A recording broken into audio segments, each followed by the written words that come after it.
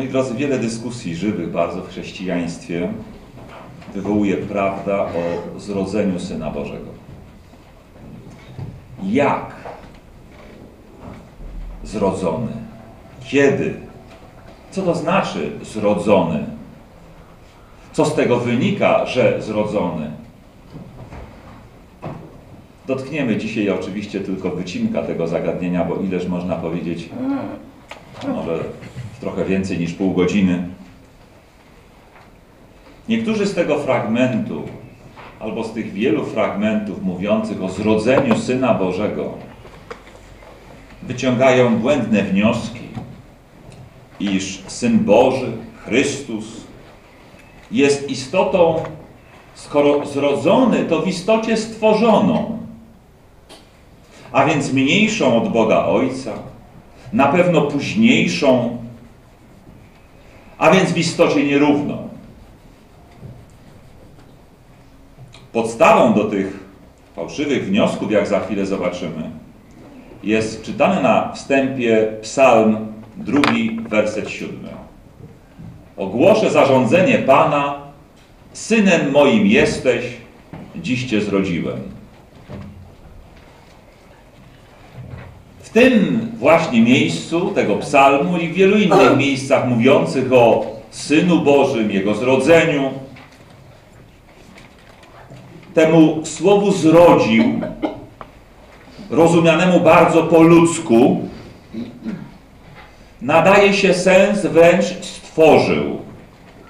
Mówię słowu zrodził, rozumianemu po ludzku bardzo, bo e, rozumując po ludzku, człowiek urodzony, zanim się nie narodzi, to wcześniej nie istnieje.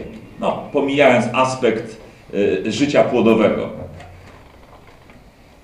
Że dopóki się nie narodzi, to go nie ma. Kto się rodzi, kiedyś nie istniał, ale od zrodzenia istnieje. No więc tak po ludzku rozumując, przykładając do bóstwa ludzką miarę, tylko przez użycie owego słowa próbuje się y, mówić, że y, Chrystus, Syn Boży, po prostu został stworzony.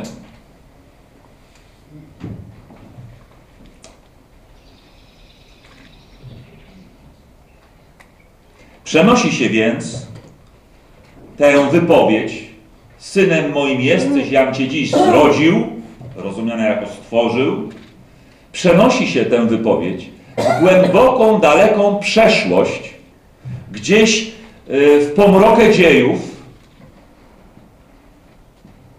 i tam próbuje się umiejscowić owo zrodzenie, owo stworzenie Syna Bożego. Tak więc podstawowy problem jest taki, kiedy Chrystus, Syn Boży, został zgodnie z tym tekstem zrodzony. I co to w ogóle oznacza? Myślę, że będziemy mieli dzisiaj jeszcze okazję po nabożeństwie rozmawiać, więc jeżeli ktoś zrodziłyby się w kimś jakieś komentarze, jakieś pytania, to bardzo chętnie y, na wszystko odpowiem i wszystkiego wysłucham po nabożeństwie. Tak więc kiedy Chrystus, Syn Boży, został zrodzony?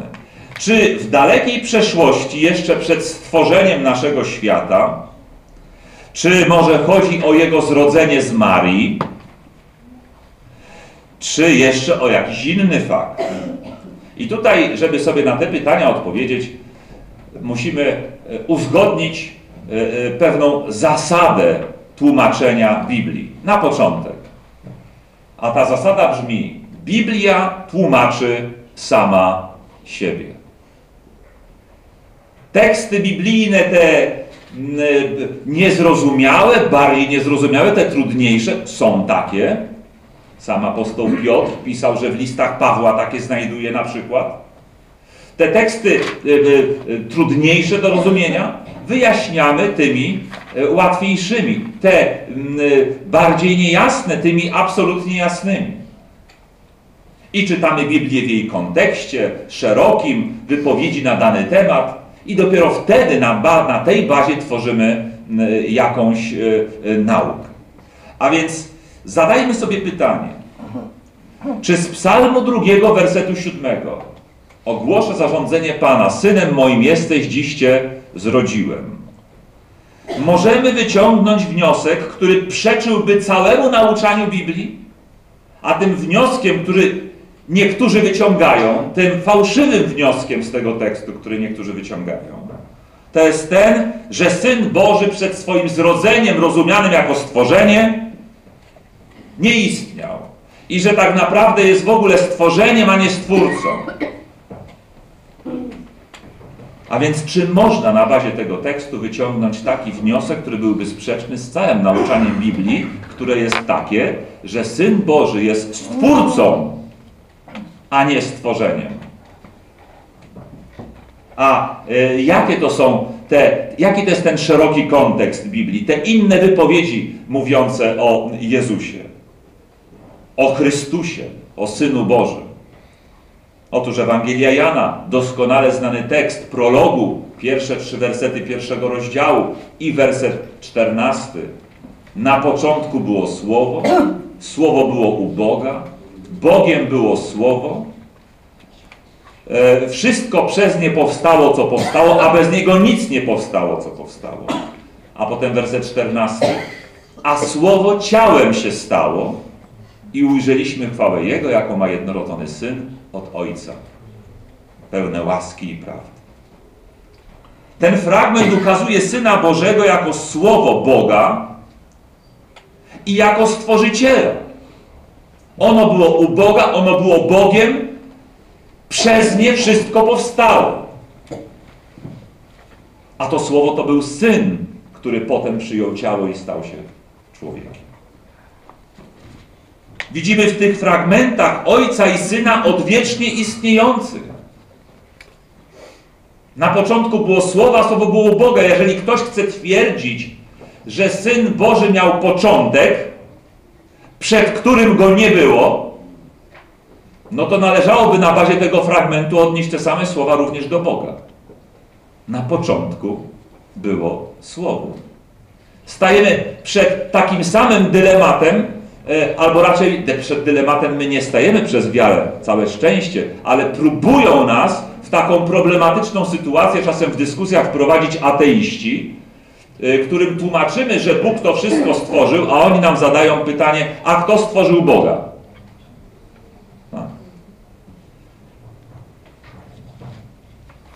Na początku było Słowo, Słowo było u Boga, Bogiem było Słowo a ono stało się ciałem. Widzimy Ojca i Syna odwiecznie istniejący.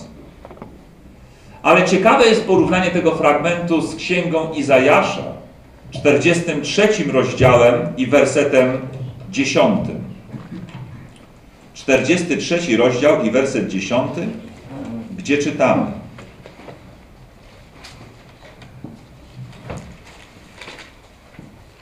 Wy jesteście moimi świadkami wyrocznia Jachwę i moimi sługami, których wybrałem, byście mogli poznać i uwierzyć mi oraz zrozumieć, że tylko ja istnieję. Boga utworzonego przede mną nie było i po mnie nie będzie. Nowy przekład posługuje się bodaj słowem stworzonego. Boga przede mną stworzonego nie było i po mnie się go nie stworzy. Ten fragment z kolei ukazuje nam prawdę, że Boga nie można stworzyć. Stworzyć można fałszywe bożki. Wyrzeźbić. Tak? O takich stworzonych bogach, weźmy to w cudzysłów, Pismo Święte wiele mówi, że ktoś tam sobie rzeźbi, prawda, coś w kawałku drewna, że oddaje mu potem y, temu pokłony, i to oczywiście jest nawet wykpiwane w pewnym sensie w Piśmie Świętym. Ale w absolutny sposób Pismo Święte o tych wyrzeźbionych y, bożkach, chociaż czasem używa słowo wobec nich Bóg, nie mówi w sensie y, y, dosłownym. Ludzie traktują te rzeczy jak Boga. Ale werset 43, werset 10 Księgi Izajasza, rozdział 43, werset 10, nie mówi o tych sprawach. Nie mówi o fałszywych bożkach. Ale oddaje prawdę, że nie ma takiego pojęcia jak stworzony prawdziwy Bóg.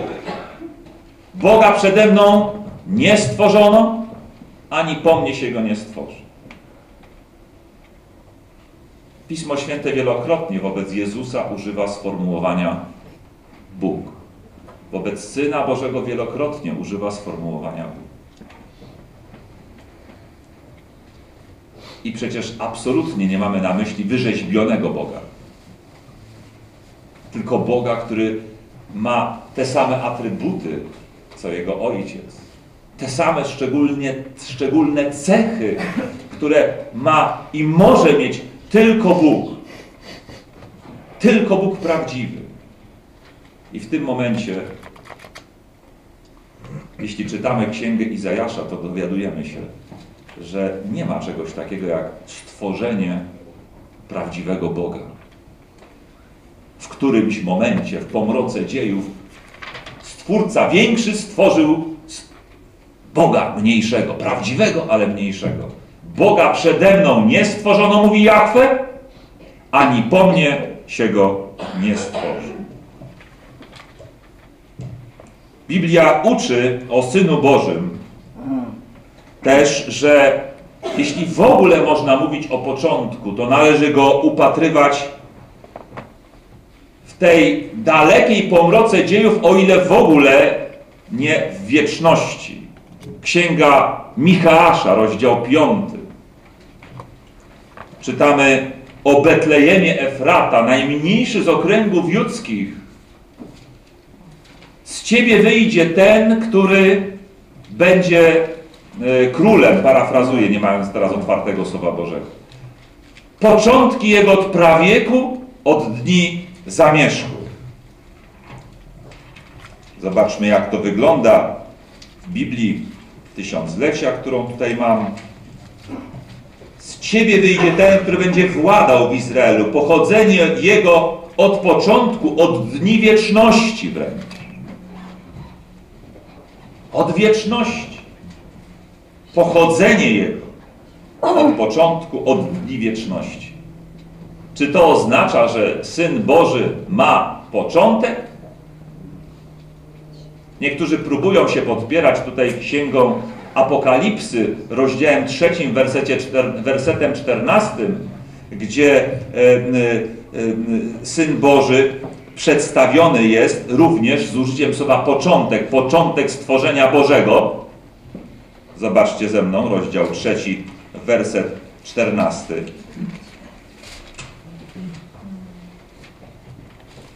Księgi Apokalipsy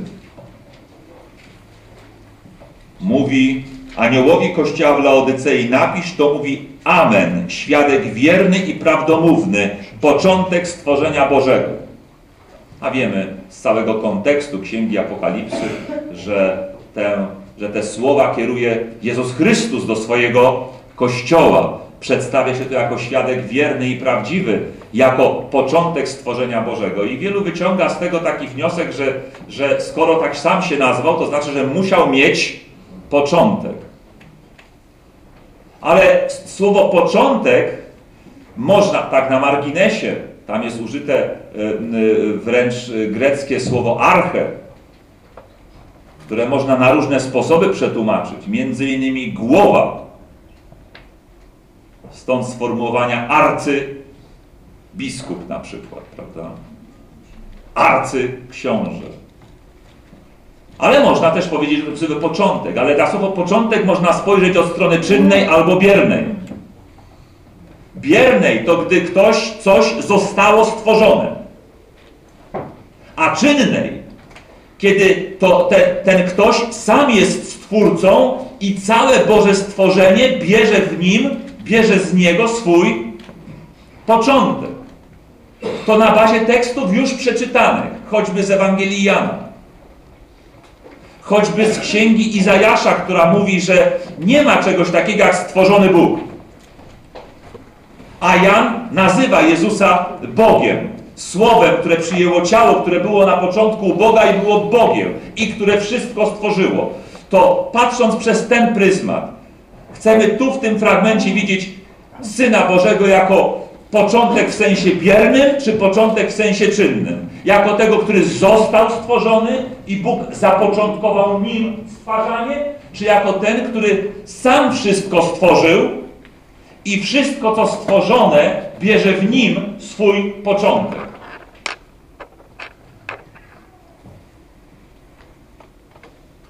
Chrystus ewidentnie jest początkiem w sensie czynnym. Stwarzając, wszystko zapoczątkował. I tę prawdę potwierdza również list do Kolosan. Wszystko przez Niego i dla Niego zostało stworzone. Przez Niego i dla Niego. Chrystus jest początkiem. Ale nie w tym sensie, że jako pierwszy stworzony, tylko jako ten, który zapoczątkował stwarzanie. I wszystko, co stworzone, w nim ma swój początek. A o czym więc jest mowa w takim razie w tym psalmie drugim, wersecie siódmym? Ogłoszę zarządzenie Pana, synem moim jesteś, dziś Cię zrodziłem. Czy to, gdy były te słowa wypowiadane, zapisywane, czy to było przeniesienie proroka w pomrokę dziejów, że gdzieś tam kiedyś w tej dalekiej, zamierzchłej przeszłości, w dniach wieczności, Bóg Ojciec zrodził, stworzył Syna? Czy może było to przeniesienie w przyszłość do zrodzenia z Marii? Czy może do innego jeszcze wydarzenia? Jak powiedziałem, możemy w interpretacji tego niejasnego tekstu posługiwać się tylko i wyłącznie Pismem Świętym. Nie swoim widzimisię, tylko Pismem Świętym. Tekst trudny wyjaśnić, niejasny wyjaśnić tekstem jasnym, mówiącym wprost pewne rzeczy. I mamy takie teksty. Mamy takie teksty, które wskazują, że słowa psalm były proroctwem o przyszłości nie były komentarzem do przeszłości zamierzchłej, ale, koment, ale proroctwem o przyszłości. Czytamy w Księdze Dziejów Apostolskich w rozdziale 13 i tam wersety 32 po 34. W rozdziale 13 wersety 32 po 34. My właśnie głosimy Wam dobrą nowinę o obietnicy danej Ojcom, że Bóg spełnił ją wobec nas jako ich dzieci, wskrzesiwszy Jezusa. Czytamy, że jakaś obietnica była dana Ojcom, czyli w czasach Starego Testamentu, która została w czasie, gdy były te słowa w dziejach pisane spełniona przez wskrzeszenie Jezusa. Tak też jest napisane w psalmie drugim. Ty jesteś moim synem, ja Ciebie dziś, jam Ciebie dziś zrodził. O czym ten fragment mówi? do jakiego wydarzenia z dziejów zbawienia odnosi zapowiedź psalmu drugiego. Do jakiegoś rzekomego zrodzenia syna przez ojca w zamierzchłej przeszłości przed wiekami? Na początku stworzenia? Nie ten fragment wprost i jasno odnosi tę zapowiedź z psalmu drugiego do faktu zmartwychwstania Jezusa. Tak jakby zmartwych wzbudzając go, powiedział do niego Synem moim jesteś, dziś Cię zrodziłem. Ja wiem, że to od razu tworzy szereg dodatkowych pytań. Pytań być może, na które po tej stronie nieba nie znajdziemy satysfakcjonujących odpowiedzi. Ale gdzie jest napisane, że musimy na wszystko w Biblii znaleźć odpowiedź? Przeciwnie, ja widzę, że w Biblii jest mowa o wielu tajemnicach. Wielka jest tajemnica pobożności, ten, który narodził się w ciele i tak dalej, i tak dalej, prawda? Rzeczy tajemne są tutaj zachowane. Ogłaszam wam tajemnicę Bożą i tak dalej. W Biblii jest wiele o tajemnicach. Niektóre zostały przed nami odkryte, niektóre w niepełny jeszcze sposób odkryte. Widzimy, rozumiemy te rzeczy jakby w zwierciadle, jeszcze niejasne, jeszcze za mgłą, ale przyjdzie taki czas, jest też obietnica, Tak. Że je zrozumiemy w pełni, na tyle, na ile jako ludzie, nawet zbawieni, będziemy w stanie głębokości Boże pojąć. Są takie które nie będą. Tak, powiedziałem na tyle, na ile jako ludzie, nadal, nawet zbawieni, będziemy ciągle tylko stworzeniami, a Stwórca będzie Stwórcą. Więc nawet zbawieni będą mieli no, ograniczoną możliwość pojmowania Bożych cudów. Większą niż dziś, ale nadal ograniczoną, tak jak stworzenie jest ograniczone w stosunku do nieograniczonego Stwórcy. A więc te słowa obietnicy z Psalmu drugiego wypełniły się w zmartwychwstaniu Jezusa. Zmartwychwstanie Jezusa możemy postawić przy nim znak równości do słów zrodzenie Syna. Owo dziś z Psalmu drugiego to nie jest dziś z czasów Dawida.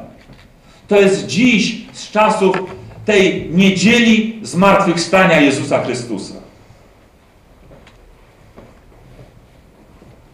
A nie jakiś wyimaginowany dzień stworzenia Syna Bożego.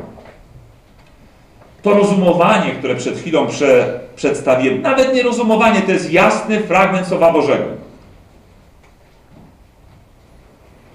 Ale ten fragment jest jeszcze potwierdzony innym fragmentem z listu do Rzymian, z rozdziału pierwszego, gdzie czytamy w wersecie czwartym.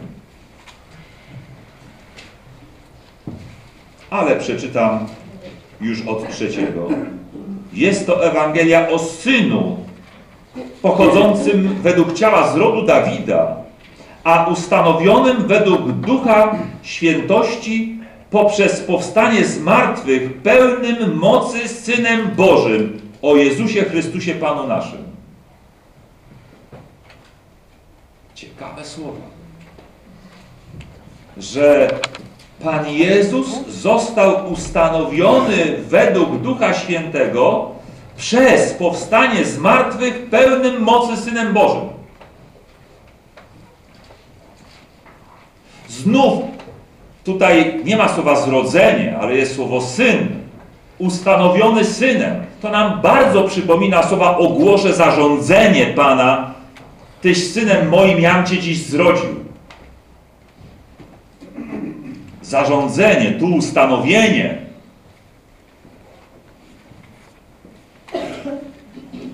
Ale tak czy siak, owo zarządzenie czy ustanowienie dotyczące syna, że jest synem pełnym, moc, pełnym mocy, znalazło sobie wypełnienie przez co? Znów przez co? Przez zmartwychwstanie. Ewidentnie przez zmartwychwstanie.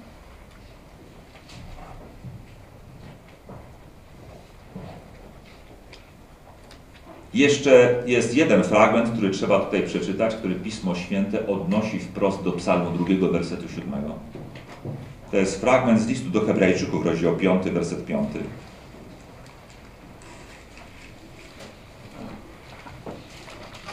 I tam czytamy: Podobnie i Chrystus nie sam siebie okrył sławą przez to, że stał się arcykapłanem, ale uczynił to ten, który powiedział do niego: Ty jesteś moim synem, jam cię dziś zrodził. I to są wszystkie biblijne komentarze do Psalmu drugiego, wersetu siódmego. I tak naprawdę nie możemy wyjść dalej. Tyś synem moim, jam cię dziś zrodził z Psalmu drugiego.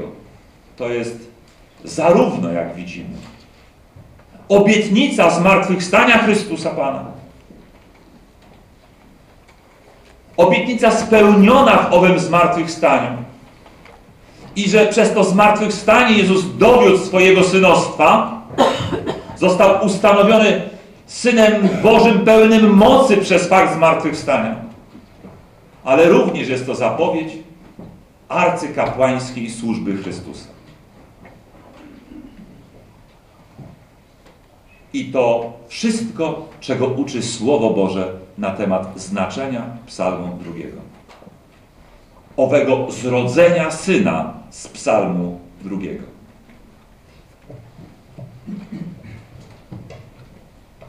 Ktoś powie, no ale coś tu się nie zgadza. Jak Jezus mógł zostać ustanowiony Synem Bożym dopiero przy zmartwychwstaniu, skoro już podczas chrztu czy na górze przemienienia słychać było głos Boży mówiący do Jezusa Synu. Zobaczcie, zobaczmy. Ewangelia Mateusza, rozdział trzeci.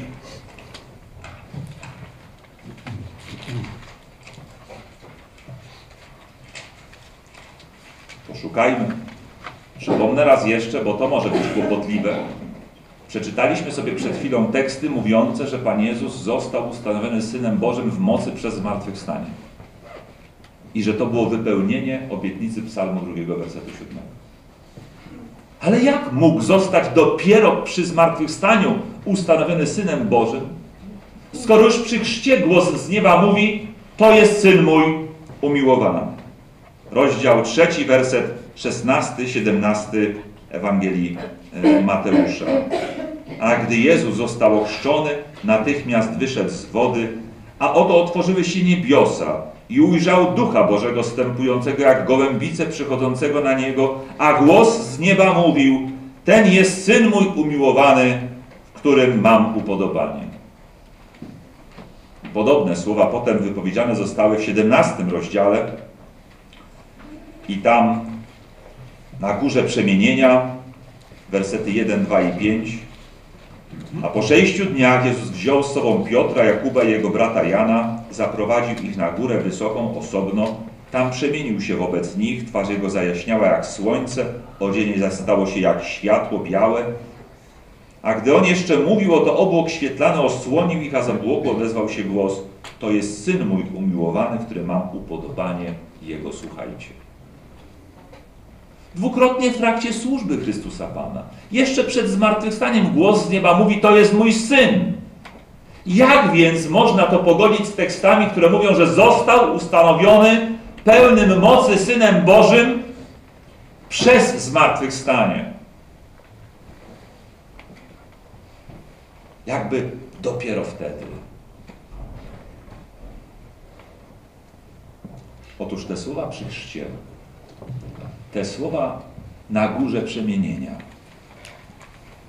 Te słowa były uroczystą Bożą proklamacją, ogłoszeniem szczególnych więzi łączących Ojca z Synem jeszcze w niebie. Bo przecież wiemy, że egzystencja Pana Jezusa nie zaczęła się od ziemi. Na ziemi On przyjął imię Jezus ale przecież istniał wcześniej. A więc było to ogłoszenie uroczyste szczególnych więzi miłości, taka jak jest miłość między rodzicem a jego dzieckiem. Szczególnych więzi miłości łączących ojca z synem jeszcze w niebie. Ale dla nas, ludzi na ziemi, Jezus faktycznie stał się synem Bożym naprawdę dopiero po zmartwychwstaniu. Ja wiem, że my już oceniamy te rzeczy z perspektywy 2000 lat. Ale gdybyśmy żyli w czasach Pana Jezusa, to za kogo byśmy go uważali? Przecież w tamtych czasach ludzie dyskutowali, kim on tak naprawdę jest. To pytanie Pana Jezusa, za kogo mnie ludzie uważają, i te różne odpowiedzi, które padały, świadczyły, że ludzie nie mieli jeszcze jasnego obrazu, kim on jest. Niektórzy go mieli za szarlatana, inni za jakiegoś e, wędrownego tylko nauczyciela, może jakiegoś proroka, może jakąś, nie wiem, prorocze wcielenie Eliasza czy coś.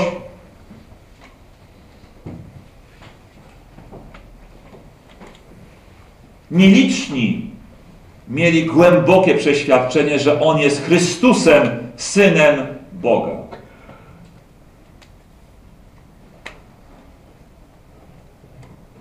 A my jakie byśmy mieli wtedy przeświadczenie? Po dwóch tysiącach lat i po napisanym już Nowym Testamencie łatwo mówić. Ale wtedy Wtedy byśmy tylko słyszeli człowieka i widzieli w akcji jego cuda. Do niektórych byśmy być może, jak niektórzy wtedy, podchodzili dość sceptycznie.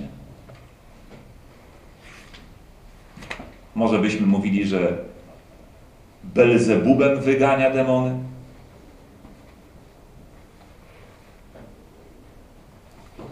Ale tak naprawdę, co dowiodło prawdziwości słów, które mówił? Cokolwiek by o sobie nie powiedział. A przecież mówił rzeczy zadziwiające.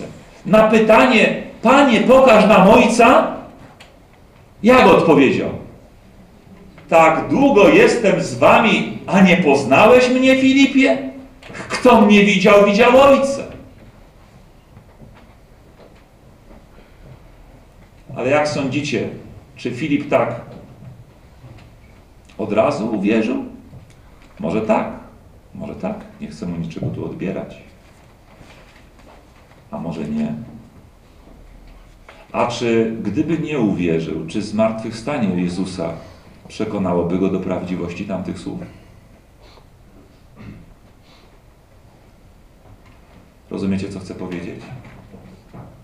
Że Pan Jezus wiele mówił o sobie.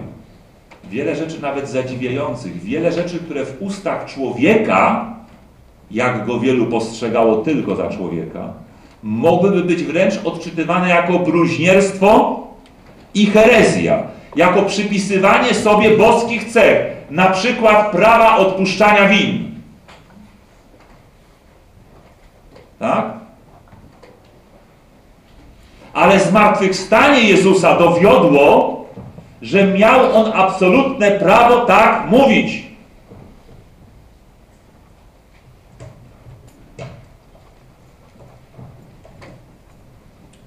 Jezus faktycznie stał się w pełni Synem Bożym w oczach ludzkich dopiero przez zmartwychwstanie. Bóg o nim powiedział, że dla niego on, jest, on już był Synem Bożym. To jest mój Syn, tak go przedstawił. Ale w oczach ludzkich stał się on Synem Bożym. W pełni dowiódł prawdziwości tego, co mówi. Dopiero przez fakt zmartwychwstania. Przykładem niech będzie to, co robi parlament, gdy uchwala ustawy. Wyobraźcie sobie, że parlament jutro uchwali ustawę o podwyższeniu emerytur od nowego roku. O jedną czwartą. Cieszylibyście się? Haha! Ale czy to znaczy, że już zostało to klepnięte, że tak powiem potocznie? Że to się na pewno, że, że na pewno dostaniecie z nowym rokiem więcej? Co się jeszcze musi stać? Oczy, oczywiście media już następnego dnia ogłoszą. Parlament ogłosił podwyższenie emerytur. Już następnego dnia będzie wszyscy, tego samego dnia, mamy internet przecież, tego samego dnia się wszyscy dowiedzą, że emerytury będą podwyższone. Ale czy to wystarczy, żeby były podwyższone? Czego jeszcze trzeba? Jeszcze się musi, pod, to jeszcze musi przez Senat przejść, Jeszcze się musi pod tym podpisać prezydent, a nawet jeszcze wtedy, jak się podpisze, to musi jeszcze zostać należycie ogłoszone, żeby mogło wejść w życie. A więc to, że ktoś ogłosił, że emerytury będą podwyższone, to nie znaczy, że będą. Musi się jeszcze parę rzeczy po drodze stać, żeby zostało to formalnie zatwierdzone. A więc to, że podczas chrztu czy na górze przemienienia Bóg z nieba powiedział, to jest Syn mój, to jedynie ogłosił relację miłości, jaka panuje między nimi, panowała między nimi już wcześniej w niebie. Ale dla ludzi Jezus stał się Synem Bożym dopiero w mocy przez zmartwychwstanie. Bo zmartwychwstanie dowiodło wiarygodności wszystkich Jego słów. Bo gdyby chodził po tej ziemi, mówił, hmm, jestem Synem Bożym, kto mnie widział, widział Ojca, a w ogóle to zaraz mnie zabiją i po trzech dniach zmartwychwstanę, po czym by nie zmartwychwstał. To jak sądzicie? Nawet ci najbardziej wierzący w Niego za życia, co by o Nim pomyśleli? A, znowu się daliśmy jakiemuś szarlatanowi zjeść. Tak? Dopiero zmartwychwstanie potwierdziło prawdziwość Jego słów. Dopiero w tym kontekście stał się dla nich pełnym, mo pełnym mocy Synem Bożym.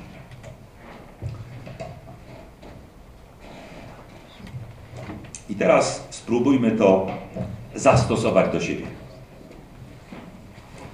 Z nami jest podobnie jak z Panem Jezusem. My też jak On zostaliśmy ochrzczeni. Niektórzy, jak mnie mam na tej sali, myślą o chrzcie. A może jeszcze nie myślą. Wiedzą, że coś takiego jest, ale jeszcze siebie nie biorą pod uwagę. Ale może wezmą po tym kazaniu. Pójdźcie ze mną do trzeciego rozdziału Ewangeliana.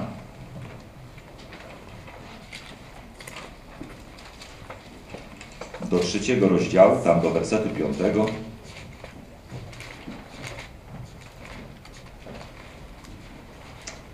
Jezus mówi, zaprawdę, zaprawdę powiadam wam, jeśli się kto nie narodzi z wody i z ducha, nie może wejść do Królestwa Bożego.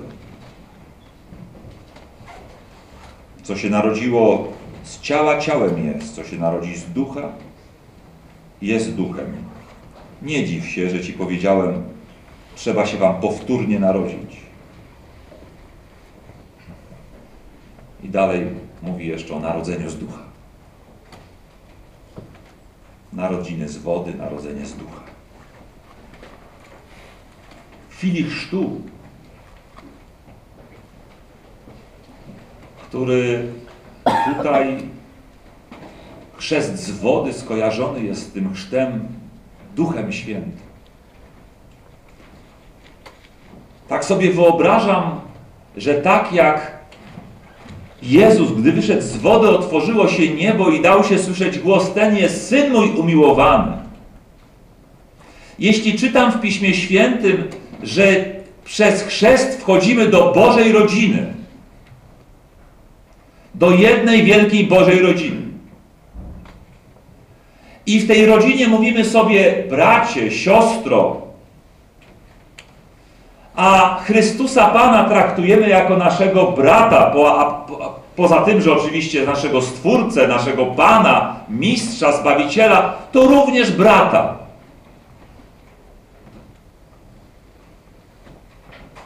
To tak sobie wyobrażam, że w ten niewidzialny sposób, gdy chrzciliśmy się, w tym świecie dla nas jeszcze niedostrzegalnym, niewidzialnym, który wiem, że cieszy się z nawrócenia jednego grzesznika chociażby. To wiem, że jakby ubogo ten nasz chrzest nie wyglądał. W jakich może skromnych by nie był warunkach przeprowadzony. To wiem, że całe niebo się cieszy. I być może Bóg wobec tych aniołów i istot niebieskich przyznaje się do nas i mówi: To jest mój kolejny syn. To jest moja kolejna córka, w których znajduję upodobanie. A za Bogiem całe niebo znajduje w nich upodobanie i się cieszy. W chwili chrztu Bóg ogłasza nas tak jak Jezusa swoimi synami. Czy to jest tylko moje domniemanie? Czy Pismo Święte w Ewangelii Jana nie mówi bardzo wyraźnie, że to słowo przyszło do swej własności, a swoi go nie przyjęli? Wszystkim tym jednak, którzy je przyjęli, dało moc, by stali się dziećmi Bożymi, to jest tym, którzy wierzą w imię Jego? Czy przez wiarę, a chrzest jest zewnętrznym wyrazem tej wiary, nie stajemy się synami i córkami Boga?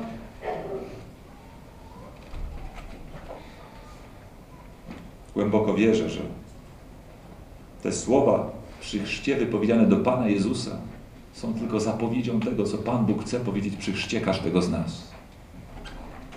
Ty jesteś synem moim, moją umiłowaną córką. Witam Cię w Bożej rodzinie.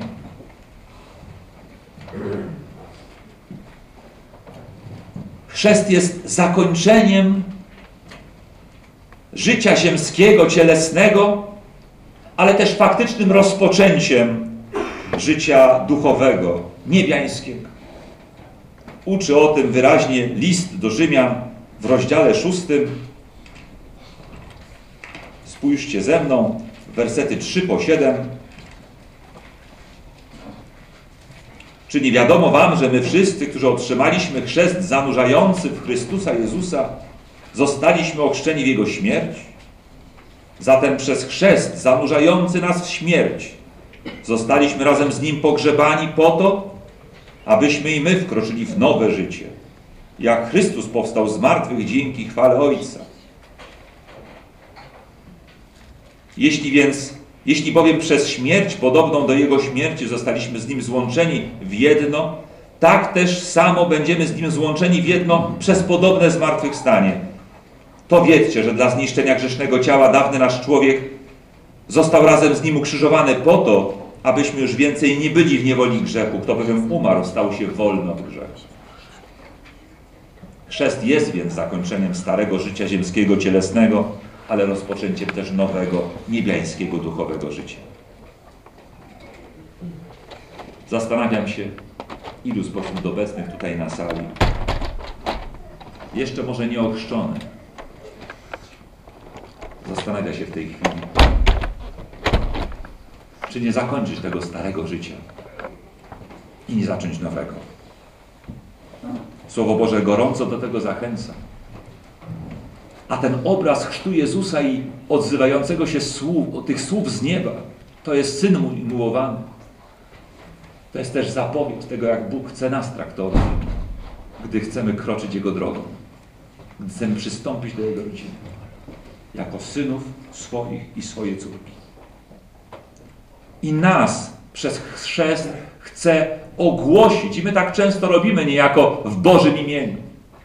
Po chrzcie witamy nowego współwyznawcę w rodzinie Bożej.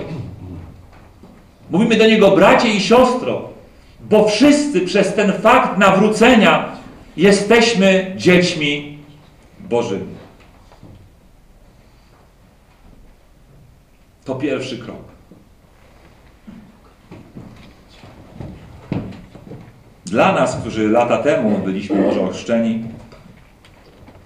z dzisiejszego kazania pozostaje jeszcze jedna ważna nauka. Znów podobnie do Jezusa. Jezusa też ogłoszono synem przy chrzcie jeszcze na górze przemienienia, ale tak naprawdę stał się nim w pełni mocy przez co? Przez zmartwychwstanie. Kiedy do końca okazał się wierny.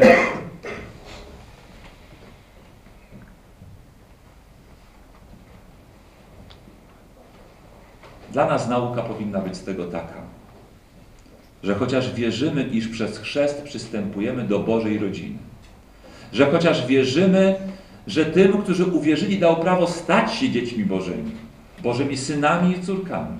I że od chrztu tak nas Bóg chce traktować. I zapewnia nas o więzach miłości, które Jego niebiańskiego rodzica łączą z nami, Jego dziećmi ziemskimi. To jednak tak naprawdę w pełni synami i córkami Bożymi staniemy się kiedy? Nie po chrzcie. Po chrzcie On nas takimi ogłasza, chce nas takimi widzieć, przedstawia nas tak niebu. Ale dopiero tak naprawdę się nimi staniemy, kiedy z martwych staniemy. I to jest wyraźna nauka Słowa Bożego. Ewangelia Łukasza, rozdział 20 i werset 35 i 36.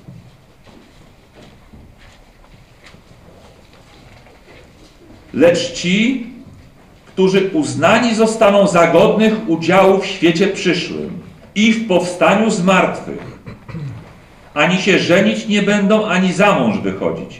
Już bowiem umrzeć nie mogą, gdyż są równi aniołom i są dziećmi bożymi, będąc uczestnikami zmartwychwstania. Popatrzcie. Przez wiarę dał nam prawo stać się dziećmi bożymi. Gdy za wzorem Jezusa Chrystusa wchodzimy do wód Chrztu Świętego, wierzymy, że za wzorem Jezusa, jak do Niego Pan Jezus, Pan Bóg powiedział, to jest Syn mój, tak i podczas naszego chrztu Bóg nas tak przedstawia niebu. A my przedstawiamy Kościołowi nowe dziecko Boże. Ale to jest póki co ciągle jeszcze deklaracja. Ciągle jeszcze zapowiedź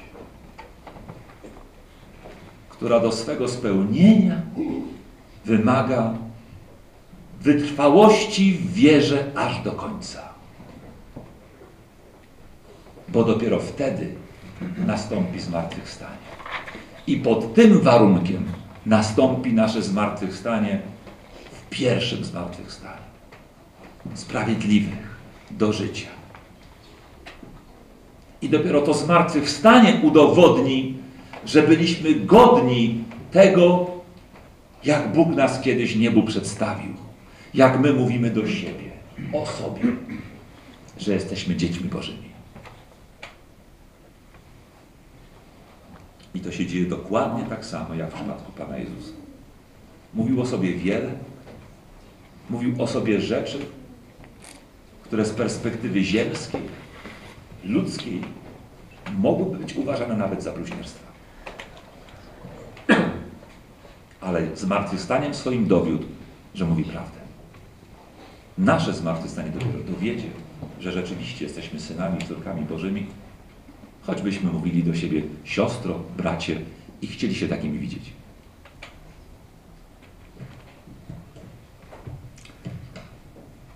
Dlatego tego porównania Pana Jezusa, a raczej nas do Pana Jezusa, tego co On przeżył, jego życia i zmartwychwstania, naszego życia, chrztu i zmartwychwstania, powinniśmy się nauczyć, że chociaż jesteśmy ochrzczeni, czy będziemy ochrzczeni, to jednak do samego końca z drżeniem zbawienie swoje sprawujmy, by się kiedyś nie okazało, że nadaremnie biegliśmy, byśmy innych zdobywając, sami nie byli odrzuceni. Dlatego bądź wierny, wierny do końca, a kiedyś przy zmartwychwstaniu usłyszysz głos wstań. Tyś synem moim, tyś córką moją, jam Cię dziś zrodził.